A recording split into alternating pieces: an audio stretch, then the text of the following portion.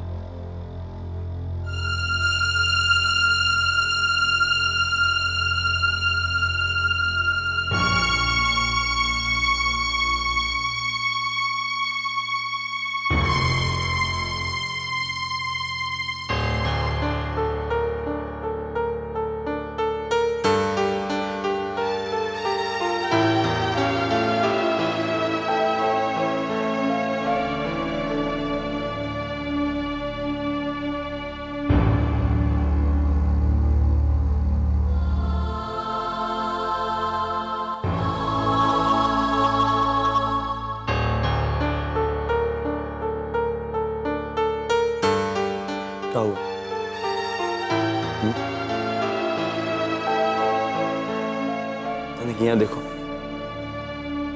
बताओ, कहो। देखो, जो होए गया, सो होए गया। उनका भूल जाओ जाए दो बस। बात को पकड़े रहने से कोनो मतलब नहीं ना। भूल जाओ। क्या कह रहे हो? भूल जाओ, हमरे हमारे पास आओ, यहाँ कृष्णा, हमें बहुत दुख हुआ कि तुम भी बाकी लोगों की तरह यही मानते हो कि एक औरत सिर्फ़ बच्चे पैदा करने और वंश बढ़ाने के लिए होती। और अगर वो बच्चा पैदा नहीं कर सकती तो वो किसी काम की नहीं। उसकी लाख अच्छाइयाँ भी नहीं के बराबर।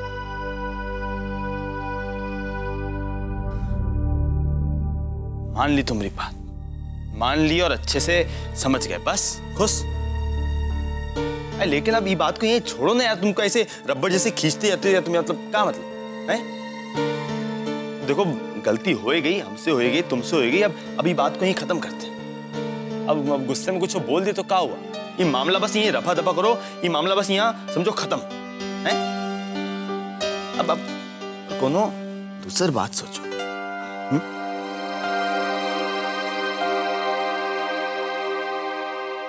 कैसे इतनी जल्दी भूल जाए कृष्णा?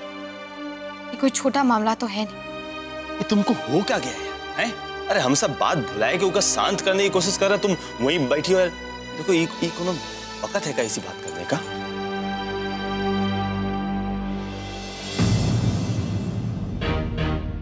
ये वक्त है प्यार की बात करने एक मिनट, कृष्णा। तुम हमारी हाँ में हाँ सिर्फ़ इसलिए मिला रहे हो ना क्योंकि अब रात हो गई और तुम सिर्फ़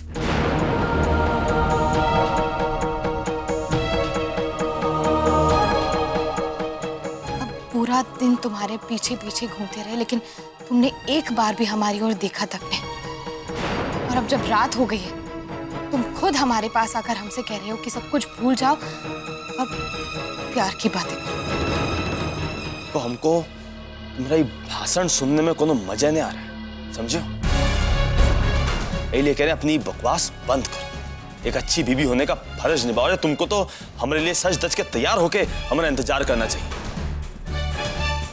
और तुम हो कि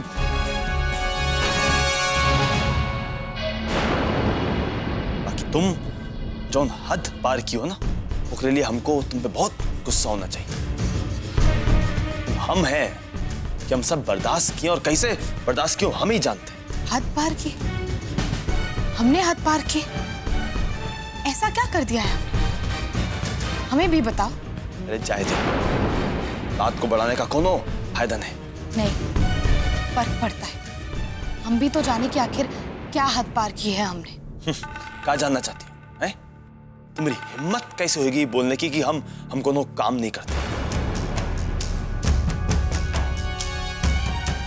नहीं कृष्णा तुमने उस बात का गलत मतलब निकाल लिया हमने तुम्हें वो बात ठेस पहुँचाने के लिए नहीं कही थी, बल्कि तुम उस वक्त बात ही कुछ ऐसी कर रहे थे कि हमारे मुँह से निकल गया।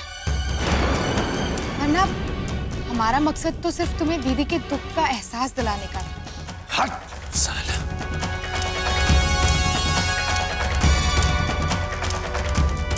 ऐसे जगह आके, ऐसे जगह आके आदमी बड़ी से बड़ी जंग हार जाता है। बिस्तर पे आते ही आदमी कमज़ोर हो जाता और इसी इसी बात का फ़ायदा उठाती है औरत। लेकिन हम उन आदमियों में से नहीं ना जो बिना रीढ़ के होते कोनो रेंगने वाले जीव ने ना हम।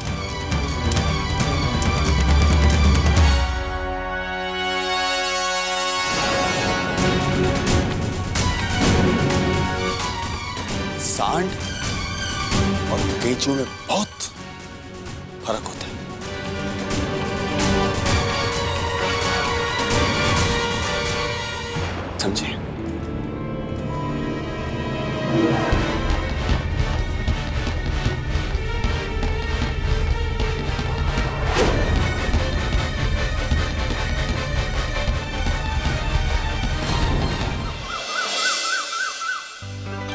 एक्सक्यूज मी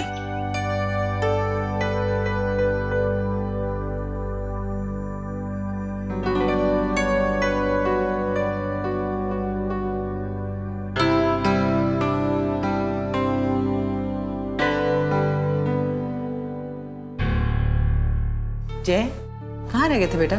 नाश्ता ठंडा हो रहा है। रात को देर से सोए थे क्या? नो no, मॉम मैं तो कब का उठ गया था। लेकिन जानबूझ के ब्रेकफास्ट लिए देर से आया। मुझे डैड के रोज रोज के लेक्चर बिल्कुल पसंद नहीं है। जय कैसी बातें करते हो? तुम्हारे पापा हैं वो। जो कहते हैं तुम्हारे भले के लिए कहते हैं। स्टॉप इट मॉम अब आप भी डैड बनने की कोशिश मत करो। हेलो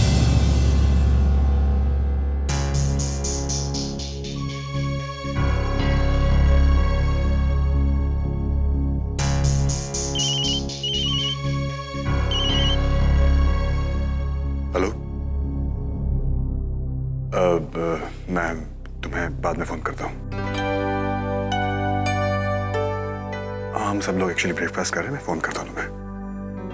हाँ, कहा ना आई कॉल यू बैक समझने की कोशिश करो आई कॉल यू बैक देखो। देवर जी आप नाश्ता आराम से कीजिए। तब तक देवरानी जी से हम बात करेंगे। भाभी बात तो सुनिए। भाभी। अरे करने दो ना बात। कुछ दिनों के बाद वो यहीं तो आने वाली है। फिर क्यों रोक रहे हो? हेलो? हेलो देवरानी जी।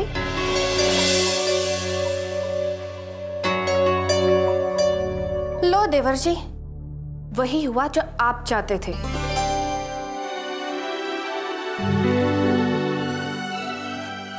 लगता है हमारी देवरानी शर्मा आ गई।